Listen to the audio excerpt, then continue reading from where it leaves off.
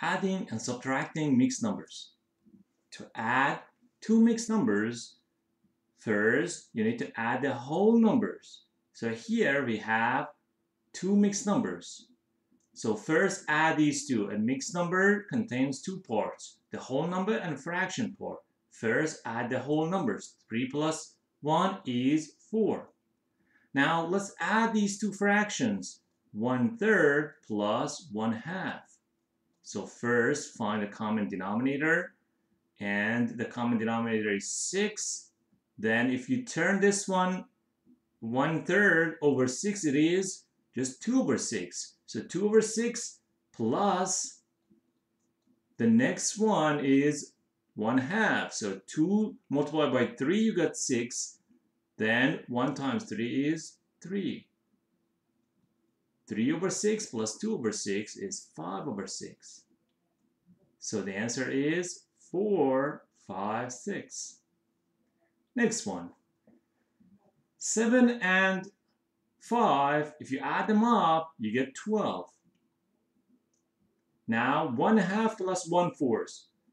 So these two don't have common denominator. We need to find a common denominator. The common denominator for these two is 4. So let's just add them up. So 1 half is 2 over 4. And 1 fourth here is just 1 fourth. And if you add them up, you get 3 over 4. So the final answer is 12 3 fourths. Next one. 3 plus 4 is 7.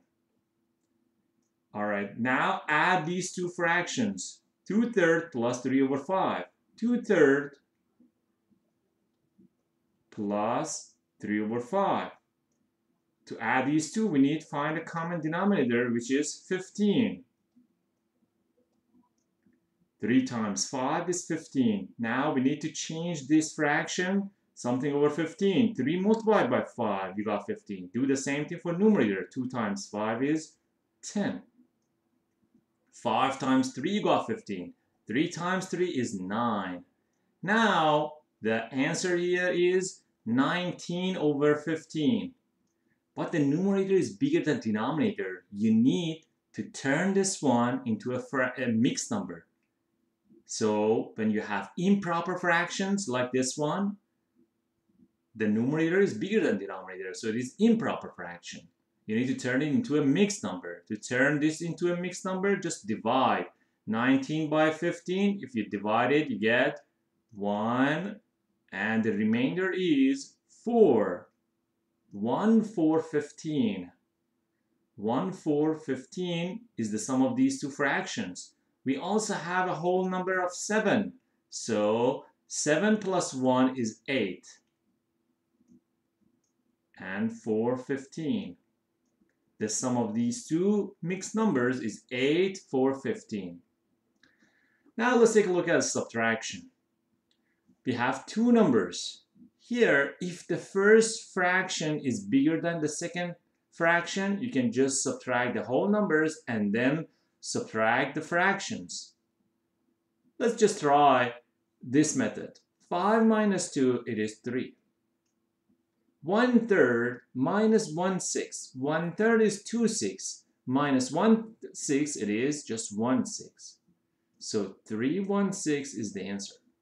You can also use another method. You can turn these two into fractions. So to turn a mixed number into fraction, just multiply the whole number by denominator, 5 times 3 is 15, plus 1 is 16.